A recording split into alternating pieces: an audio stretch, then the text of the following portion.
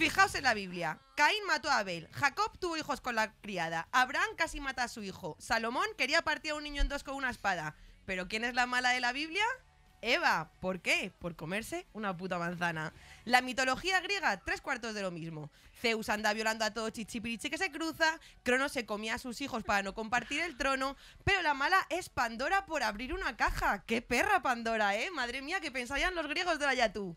La guerra de Troya es porque Helena era muy guapa y los cantos de las sirenas despistaban a Ulises y por eso tardó tanto en volver a su casa. Que todo esto es literatura, ya lo sé, pero es que de aquellas lluvias vienen estos lodos si los futbolistas no meten goles o bajan su rendimiento, no es porque ellos hayan descuidado su trabajo, es porque sus novias les despistan. La culpa es de Shakira, de Edurne o de Sara Salamo. Por no olvidar que Sara Carbonero sembró el caos en la selección española.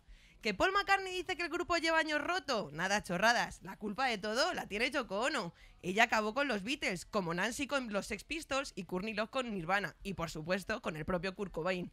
Como Ariana Grande, que si hubiera seguido con Mac Miller no se hubiera suicidado. El desplome de Ciudadanos, de Malú, claro. Como Gala tuvo la culpa de que Dalí apoyara el franquismo o la Levinsky de desestabilizar el gobierno de Bill Clinton. El rey Juan Carlos anda regalándole millones a sus amantes. Millones que incluso superan en mucho el patrimonio que debería tener.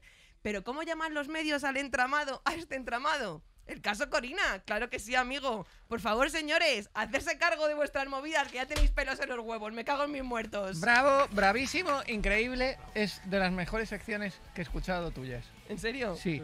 Ahora bien, me tienes que admitir.